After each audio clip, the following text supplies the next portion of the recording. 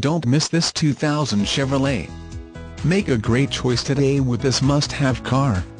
Learn more about this car by contacting the dealership today and complete your driving dreams.